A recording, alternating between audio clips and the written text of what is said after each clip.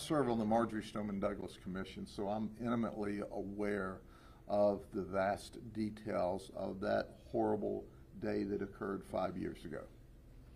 And it breaks my heart. A lot of, a lot of that whole environment breaks my heart. The sheriff's office in Broward County failed. The school system failed. The county failed. The teachers failed in in, in the security systems and processes.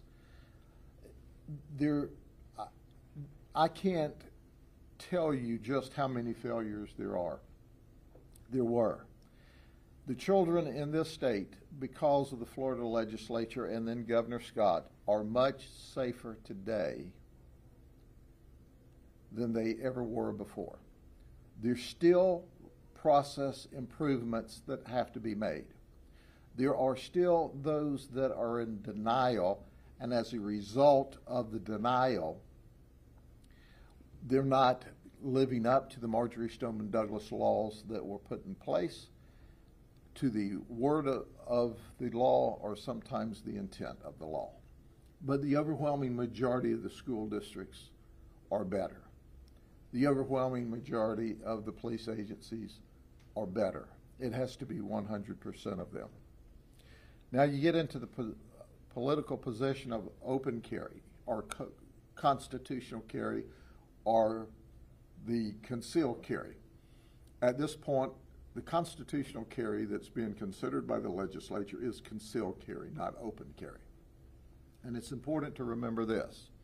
On that day, at that moment in time, when Nikolas Cruz showed up with that firearm, had there been people on that campus right there at the moment in time with a firearm, well trained and used it, there wouldn't have been a massacre at Marjory Stoneman Douglas.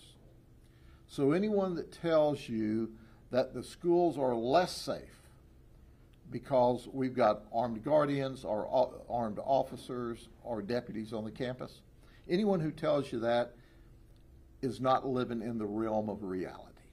They just aren't. Now, the bad guys with guns already have guns, or will steal guns, or will use guns.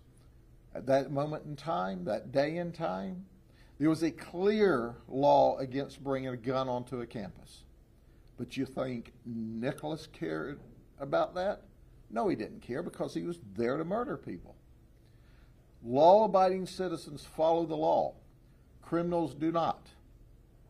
There needs, and there is, robust systems and processes as an outcropping of the Marjory Stoneman Douglas laws and commission's work. The commission, and I know all of those commissioners, they are remarkable people, and their heart and soul is to keep children safe, not only in Florida, but but across the nation, and I join that. But make no mistake about it that we have to put layers and layers and layers and layers and layers of security in place. And we've done that. We are now plugging and have plugged mental health counselors and what we call orange teams or threat assessment systems in place. That's important. But when all of that fails, and the next Nikolas Cruz shows up with a firearm on a campus, violating all the rules, getting through all of the layers of protection, if there's not someone there with a firearm to shoot that person graveyard dead at that moment in time, more students and more teachers are going to be killed. So I become angry when people with their editorial comments say, oh, we need less guns, not more guns. Don't you understand that criminals don't follow the rules? That there are millions upon millions upon millions of guns here? They're here. And to think that we don't want good, honest people that know how to handle a gun, care to, ha- to handle it, to have a gun to keep themselves and others safe, I have a problem with that. So at the end of the day, rules are in place. If you violate the law with your handgun, we'll make sure, or your rifle, we'll make sure that you're appropriately criminally charged. But the, the good people of this state who care enough to appropriately, professionally, and safely handle a firearm, learn how to shoot it, stay proficient with it, and that's the only ones that should carry a concealed firearm. There's nothing wrong with that at all. And if that person saves your child or your husband or wife or significant other from being shot by a criminal, you'll think different, at least for that moment in time.